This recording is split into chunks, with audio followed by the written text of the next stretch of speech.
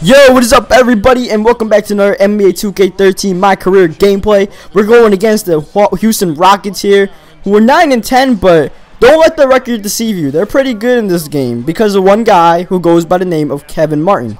Kevin Martin, as you know, um, I started this before the James Harden trade, so Martin's on the Rockets, Harden's still on the Thunder, and Martin is a complete beast of this game. He immediately fires every single three-point look he gets, and he makes most of them, so it's just tough to stop. Like, look at this. Step back and shoot. There's nothing you can do about that. So that just makes them a really dangerous team on offense. So, you know, we got to work it out for us to win this game. We played them like two or three games ago. And um, we almost lost. And the game was only, it was only like a five-point win for us. I didn't feel like showing it. Wasn't really that exciting of a game. But um, this game was even more exciting than that one. As Kevin Martin gets the steal and goes all the way. Just pokes the ball to Denny's hands and goes up there. And the Rockets are on a big run to start off the game. You know, they're just on. Kevin Martin is basically carrying the team right now. Then he's trying to do all he can run a pick and roll. Anthony Davis. Davis gets the bucket. They're wide open. So you know we're trying to be a little bit resilient here. But um, another thing about the Rockets is they get more offensive rebounds than most teams for some reason. Especially Patrick Patterson. He was dominating his matchup against Ed Davis, and he would get a ton of offensive rebounds there. Um, speaking of offensive rebounds, we get one, but we can't finish it, unfortunately. And even Toney Douglas is firing the three-pointer like it's nothing and knocking it down. He's got that Kevin Martin quick release. So we got to fire back with our own three-pointer. Get that one to go. So we're still down by nine here. They're still up, but um. Anyways, hold, hold on, hold on. Johnny Flynn goes down. Johnny Flynn goes down on a nice cross by Denny, and he's able to knock down the deep two-point shot there. But um, hey, that's one for the highlight reel. But um, anyways, next thing I want to talk about is um, the NBA playoffs. I haven't done that in a while. I've been doing a few live comms lately, but um, yeah, it seems like one the Bulls are about to lose.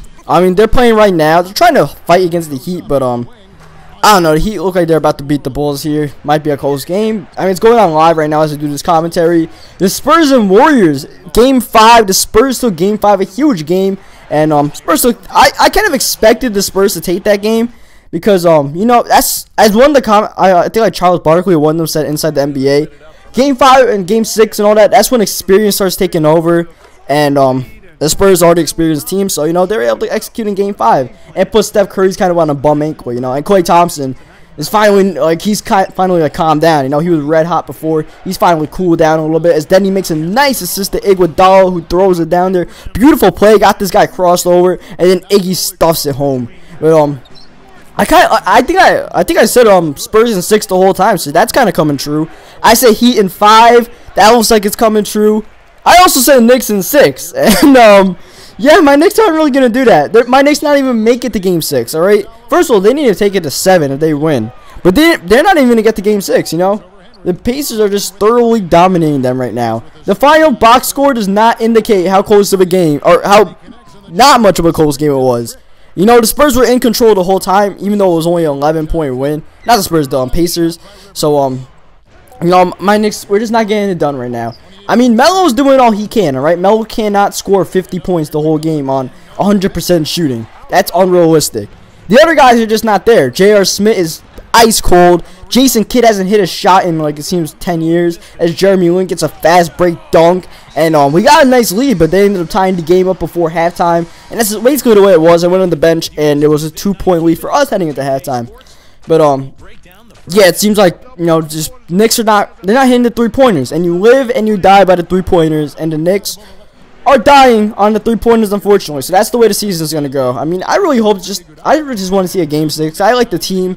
I like the guys on this team, like Kidd and Shumpert, Melo. I want to see it go to a game six, but um, unfortunately, doesn't look like it's happening. And then um, the last series, the Grizzlies and the Thunder. I think I said Grizzlies in five too, and that looks like it's coming true. So I, I was pretty dead on my um, predictions, except for the Knicks series. But I said it. It was a bias. It was a bias pick as Kevin Martin knocks down the three-pointer with that lethal quick release. And look at Jeremy Lin. He thinks he's Denny Tice. This is what I do after people miss free throws. I get the I get the pass from the power forward or small forward, and then I pass it to my shooting guard. But um, Jeremy Lin just did um what I do. And here I'll give it to my shooting guard right there, Eric Gordon. He can knock down that shot.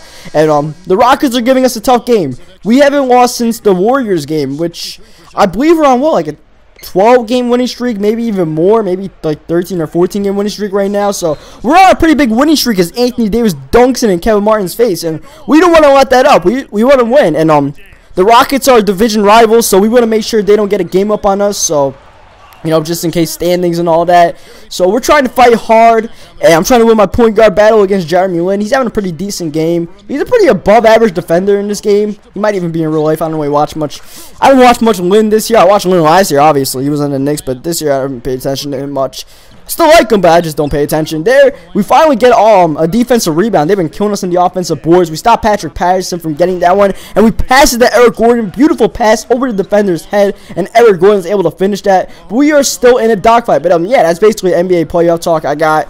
So um, yeah, I mean, I, the second round has been great though. Second round has been great, especially the Spurs and Warriors series. That series has been so good. And here, I wasn't even trying to reach in Jeremy Lin. I was trying to steal the pass from um whoever was trying to pass it to Lin. And um, he just reacting late and ended up being a reaching foul. And then the same thing happened here. I was trying to steal the inbound pass, and um, instead of stealing the inbounds pass, the reaching was late, and I ended up reaching in on the guy when I didn't want to.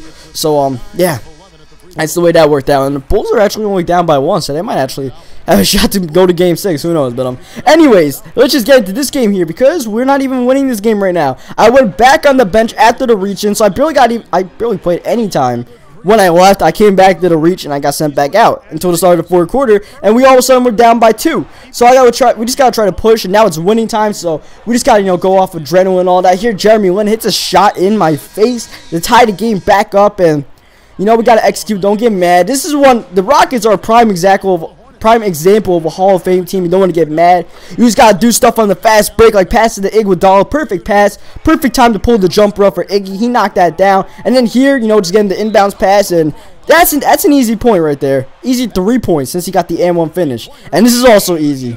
Beat the buzzer there by Eric Gordon. Just throwing a Hail Mary to him. And he's able to knock that down. Absolutely no skill or thought went into that. That was just, you know, I got to beat the buzzer. And I'm, I'm not taking that shot. I'm letting Eric Gordon take that shot. But, um, Rockets are still fighting, man. They're still fighting. They're only down by three.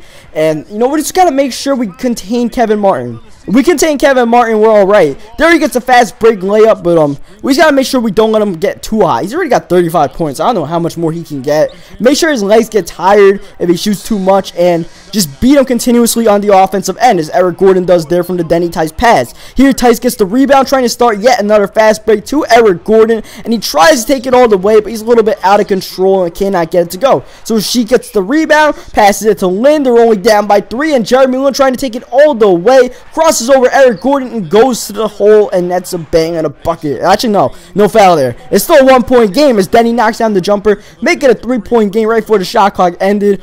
We're trying to fight back. The Rockets are trying to rally, but we're just staving off every rally we can right now. Make it a five-point game here. But you know the Rockets going to try to come back, and I, I just robbed Kevin Martin there. I, I just did a simple crossover. I wasn't trying to do anything. I would have shot that if I knew that was going to happen. Instead, Kevin Martin shoots that, but he can't make it. Parsons gets the rebound. He can't make it. And then I'm trying to get it here, but Patterson gets it instead. I was jumping like three or four times, but I just couldn't reach it. So it's a four-point game. Denny lining up the jumper, and he does not got that. But look at Anthony Davis crashing the boards. He's got that. Six-point game. Big-time play by Anthony Davis. Denny Tice with the tremendous defense on Eric Gordon. But unfortunately, Patterson gets yet another rebound and gets fouled. She's been to the free throw line a few times. But for some reason, they play terrible full court press with under two minutes to go. Only down by, what, four points? Now make it six as Iguodala gets it wide open. He's able to make that one go all the way home. Here, Lin getting the rebound and we cannot get them. They're crashing the offensive boards like crazy and getting to the foul line like crazy. But here's Denny lining up the jumper and knocking it down. Six point game. Big time bucket by Denny. Trying to help his team get the victory. Denny Tice defending Jeremy Lin beautifully there again. And there's um a Sheik trying to do something there. But look at Tice finding the wide open teammate Iguodala. And Iggy's jumper has been money this game and that should be able to carry us home. Iggy having a huge game, 30 points. Denny with a 40-30 game, and I swear, I did not call for that ball. I was just walking, and then Iguodala passed it, and that ended up being my turnover. So that kind of sucked. I had some weird turnovers in this game, like an offensive three-second, but um, we got the victory, and that's all that matters. It was a tough game. Rockets played good, but we played better and we got the win. So hope you guys liked the video. Subscribe for more Denny Tyson NBA 2K13, and I'll catch you guys next time as we head to the press conference.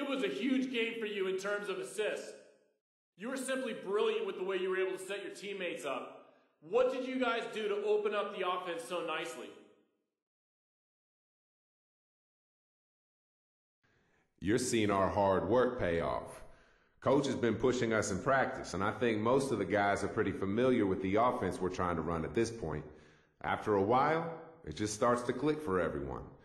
When you know where your teammates are going to be before they get there, it's easy to get them the ball exactly the way they like it. Great game, man. Really proud of the way the entire team stepped up tonight, man.